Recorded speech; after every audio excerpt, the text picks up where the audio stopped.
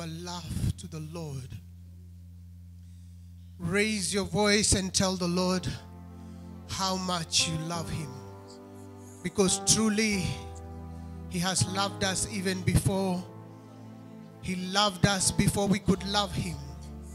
He gave so much for us to be the way we are this day. Some of us are not even worthy of any good great good thing. It is just by the mercies and the loving kindness of God that we are. We had been written off, but because of the love of God, we are accepted back. We may have lost all that we lost, but because of the love of God, we are going to gain back. We have a God who loves us. We have a God who does not ask ha- ha- ask about your state. He does not even want to know the kind of sin you have committed. Because of us, Christ died on the cross. Because of us, one who is sinless was made to be put on the cross for us.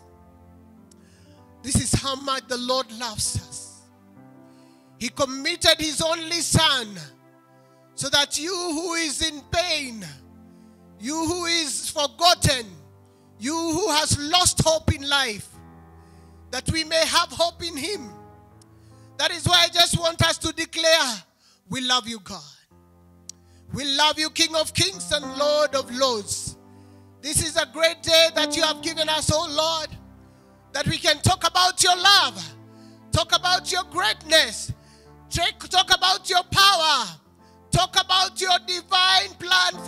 humanity. Blessed be your holy name. We bless you, Jehovah, for this great moment. We are ready to listen from you. Holy Spirit, confirm the will of God here as it is in heaven. Thank you, mighty King. In Jesus' name we pray. Amen, amen, amen, amen, amen. Uh, the way I don't love the way you celebrate. If you want to clap, you do it better. Especially it is because it is it is about the Lord. Let's celebrate Jesus. Celebrate, celebrate, celebrate, celebrate, celebrate. The Lord is good. The Lord is good. And his mercies endure forever.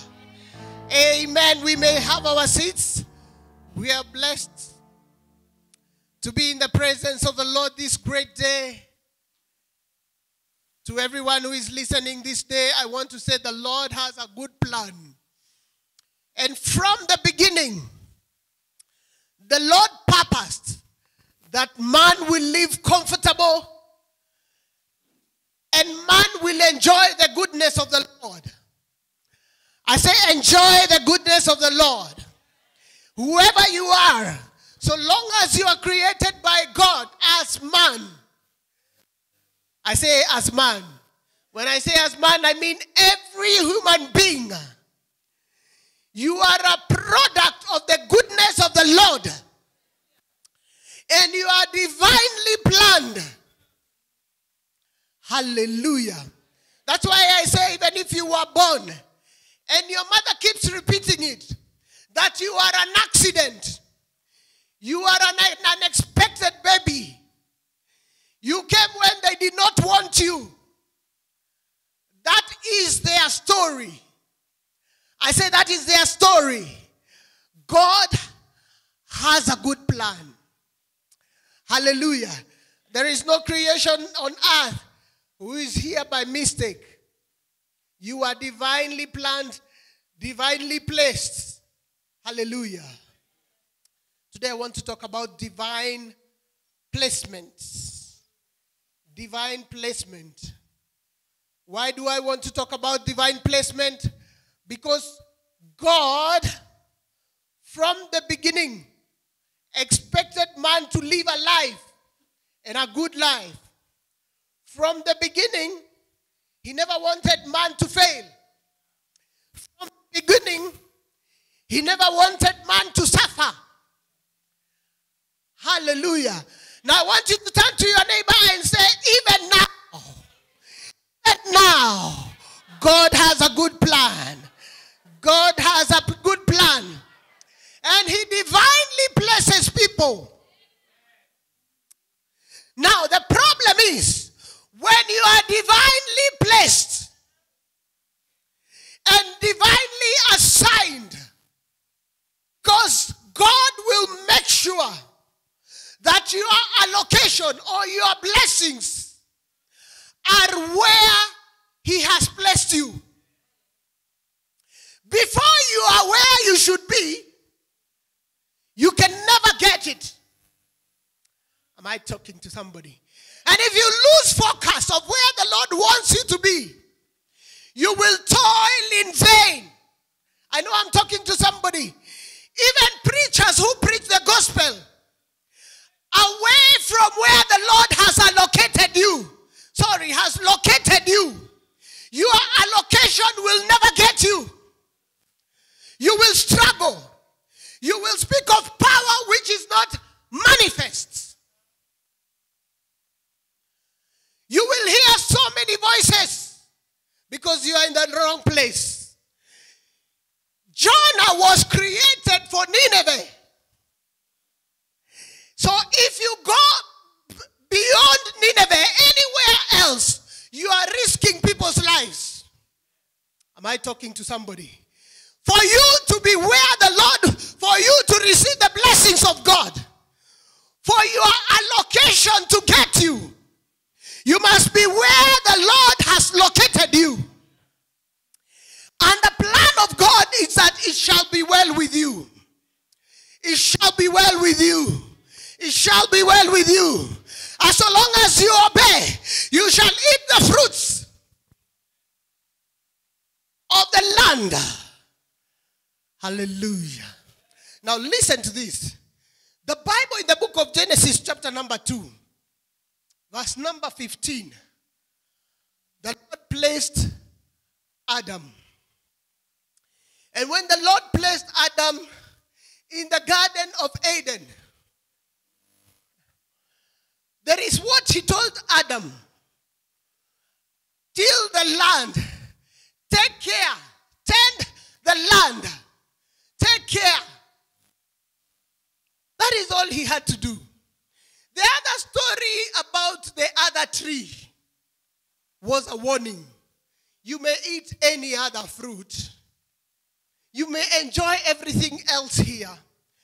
Apart from the tree of knowledge. Instructions were very clear. And so if I were Adam, I would have no business with the tree of knowledge. I would not lose my focus and start diverting my focus to the tree of knowledge. Because everything the Lord has done for my comfortability is good. Hallelujah. But now in chapter number 3, from verse number 1 to verse number 6, where? the devil, the serpent appears. And he appears to the woman. But I want you to see, after asking the woman, Did God say? What did God say? Then finally, number six, verse number six says, And when the woman saw,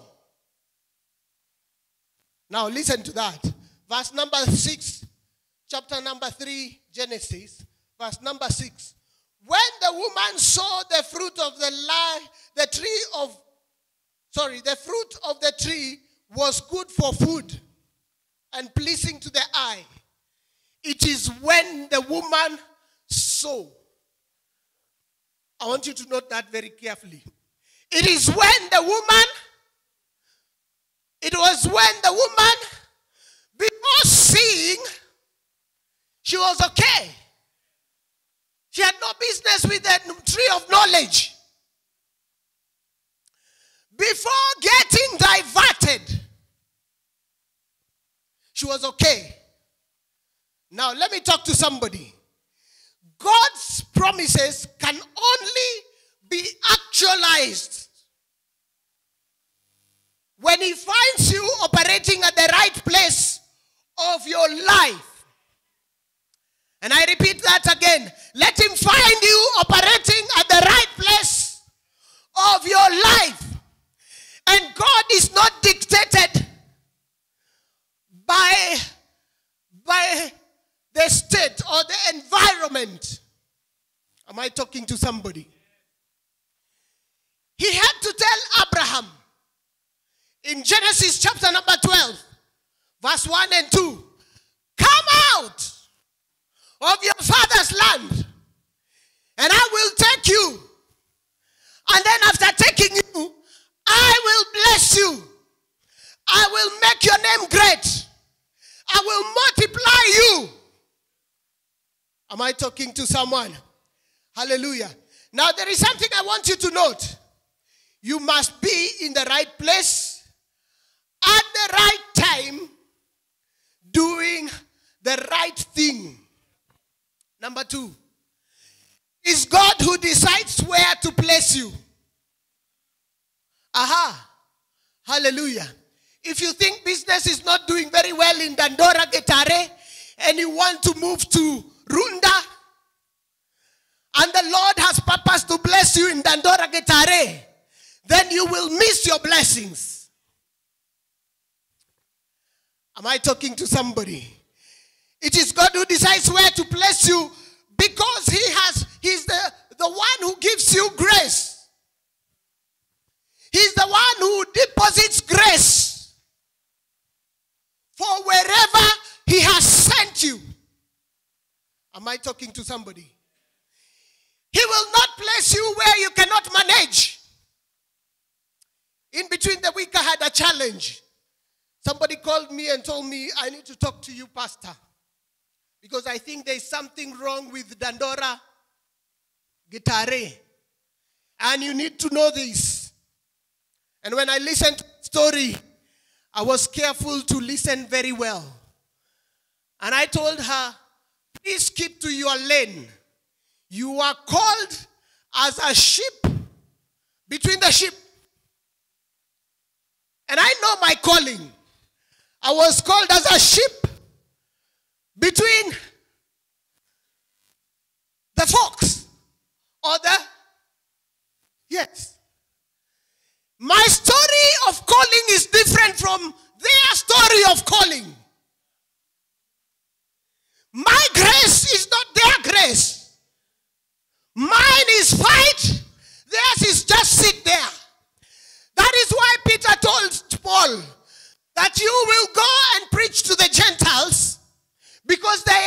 The grace in Paul for the Gentiles. But we will preach to the circumcised. I know I'm talking to somebody. And I want you to understand yourself. Don't run away from where you are because there is battle. God places you somewhere and gives you grace for the place. Hallelujah. Man is rooted where the assignment is. And if God takes you to a slum, because you are with God and the backing of God, you can turn the slum to an estate. Because there is grace for the people in the slum. Hallelujah. If everybody ran away from the slum, who preach the gospel in the slum? Who is going to show the goodness of the Lord in the land? So the Lord has to identify somebody and place you in the slum because you are the one who is going to take people to their destiny. God told Joshua that. Joshua, do not fear. Be bold. Be courageous because you are the one who will take people to their possession. Hallelujah. Tell somebody we have an assignment. And where the Lord blesses you, do not fear. Do not run away. If you try to run away like, like uh, Jonah, you will risk the lives of so many. Mhm. I say you will risk the life of so many, you will also risk your own life. You think you are running for good, you run, you run to lose. Uh huh. You run to lose. Somebody was there in the book of Ruth, chapter number one. The family of Naomi. They ran away from famine, from Jerusalem, the house of bread. They ran away thinking they are going to gather together and restore her and become rich. They thought they are going to gather together and increase. But instead of increasing, she lost everything. God have mercy on us. Instead of increasing, she lost everything. She had to go back to her land so that she gets back what was hers. Am I talking to somebody? So I want you to ask your neighbor, do you know where you are? You're not there by mistake. The Lord does not make a mistake. Hallelujah. He places you for a reason. There is a grace here that you will receive that you may never receive it anywhere else. Aha. Your door may never open when you run away to some other place until you are where the Lord has placed you. Let's read the Bible. Genesis chapter number 26. Genesis chapter 26, verse 1. If you can underline that, underline. There was famine in the land, besides the previous famine in Abraham's time. And Isaac went to Abimelech, the king of the Philistine, in Gerar. The Lord appeared to Isaac and said, Do not, do not go down to Egypt. Live in the land where I tell you to live. Stay in this land for a while, and I will be with you and will bless you. For to, for to you and your descendants I will give all this land and I will confirm the oath I swore to, swore to your father Abraham. I will make your descendants as numerous as the stars in the sky, and will keep them all this land, and through the offsprings, all nations on earth will be blessed. Verse number 12 Isaac planted crops in that land and the same year, I say the same year, the same year that there was famine, eh? And the same year reaped a hundredfold because the Lord blessed him. You may be looking at your situation and not understanding it. Wherever you are, even in your marriage, you don't understand why you got yourself into in this troubled marriage. I uh, don't want to talk so much about marriage, but let me talk about it. You don't understand why you are there. You are asking yourself, God, why did you allow me to be born in such a place? Why did you allow me to get into this relationship? And let me tell you something God honors marriage. You may have gotten into marriage from the wrong footage. But once you are in Christ, there is a new thing. Hallelujah. The Lord is able to turn the tables round. So I want you to see there was famine at one time when Abraham was there. And he had to go to Egypt because famine was so much. But now here comes a case of the son, Isaac.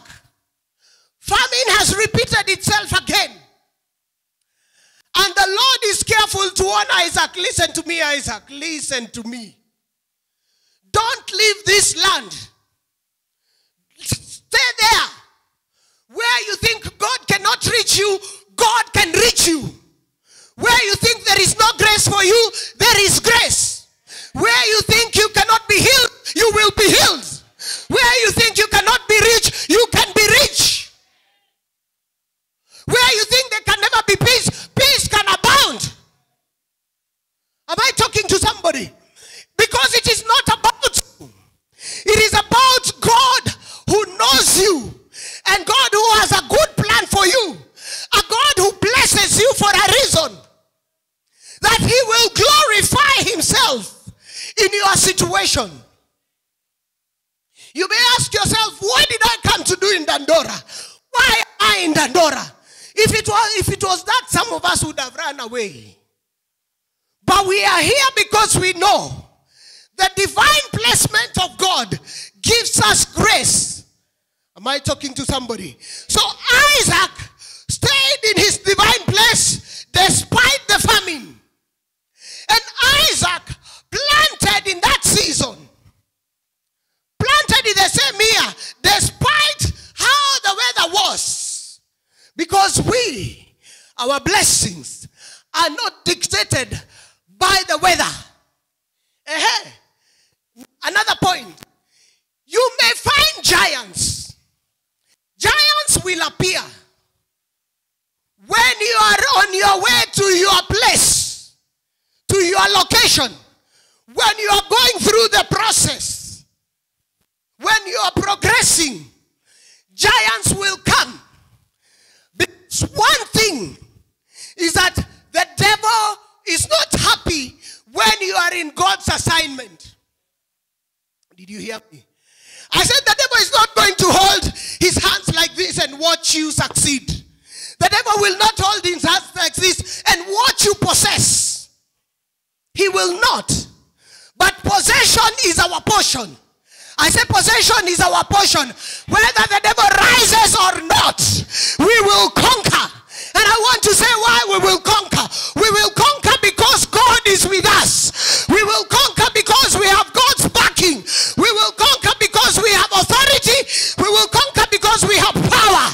We will conquer because we have grace. God will never make a mistake. You may be feeling the pinch now. You may be feeling the pain now. But it is good to hold on and see what the Lord is doing. Because the end of it shall bring glory. The end of it shall bring glory. Let's read the Deuteronomy chapter number 20, chapter number 2 as I conclude. Set out now and cross the Arnon Gog. See, I have given into your hands Sihon and Amorite, the king of Heshbon and his country. Begin to take possession of it and engage him in battle. Did you hear that?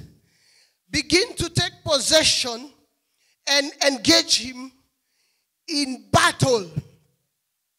Hallelujah. The Lord has given us. The Lord has given us. What the Lord has given us is beyond money in the bank, it is grace. And grace is richer than money in the bank. You don't need to go to the US. You don't need to go to the US to break through, to break even.